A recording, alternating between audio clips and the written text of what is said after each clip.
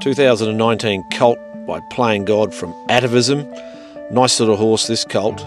He's well made, he's balanced, he's got plenty of substance, got a nice frame to him. He walks well, tracks through nicely, and he's really going to develop in time into a really nice horse.